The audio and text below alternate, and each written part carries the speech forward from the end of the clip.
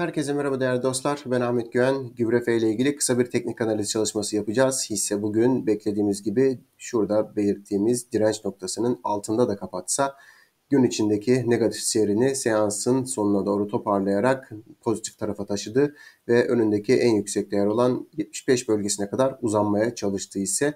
Şimdi e, hissede şöyle e, bu çubuğu şimdi artık aşağı indiriyorum. Artık bizim destek noktamız, ana destek noktamız 63 bölgesi olacak. Hissede şimdi şuradaki çubuklarımızı bu tarafa geçirdim. Ee, önümüzde e, ilk direnç ve ilk destek noktaların nereleri olduğunu belirleyeceğiz şimdi.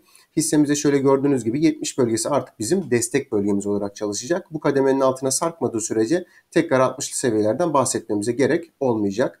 Ve hissede önümüzdeki en yakın kanalın içinde kalması müsaadesiyle beraber yani e, bu kanalı aşmaması şimdilik e, birazcık daha sağlıklı olacaktır.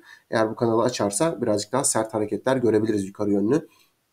Hissede önümüzdeki en yakın direnç noktası yaklaşık 77,5 seviyesi olacak. Daha önce burası iki defa dip gören yani destek pozisyonundaydı.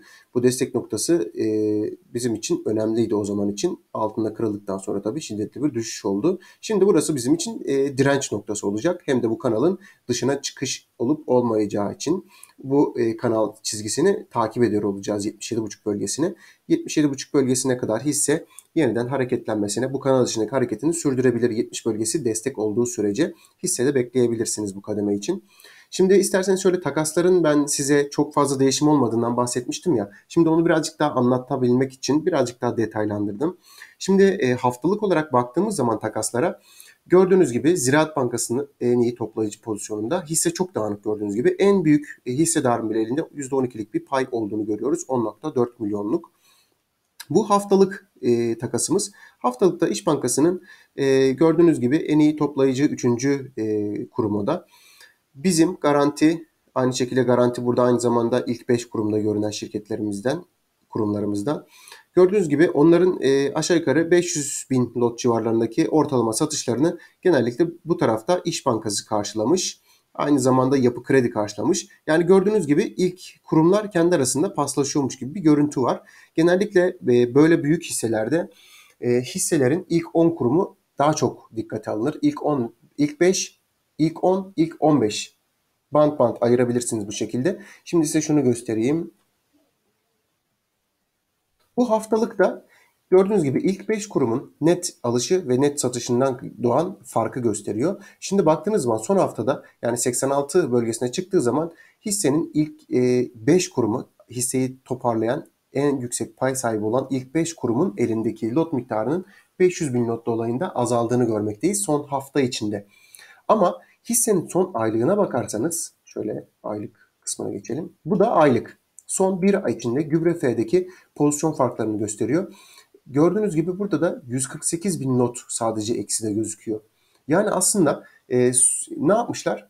Burada gördüğümüz net pozisyon net çıkan 148 yani 150 bin not civarında bir lot eksilmiş. Kimde? İlk 5 kurumda. Şöyle tekrar bu tarafa geliyorum. Yani şu ilk beşlide gördüğünüz gibi toplamda lot değişimi, eksilen lot miktarı sadece 150 bin lot. Ay başından yani bir ay içinde, son bir ay içinde. Bu ne demek? Yani bu haftalıkta gördüğümüz, son haftalıkta gördüğümüz şu 471 bin lotluk yani son bir hafta içinde ilk 5 kurumdan çıkan lot miktarı ne anlama geliyor biliyor musunuz?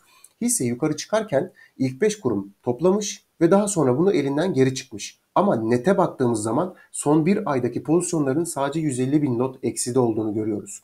Yani bu bence birazcık daha önemli diye düşünüyorum ben.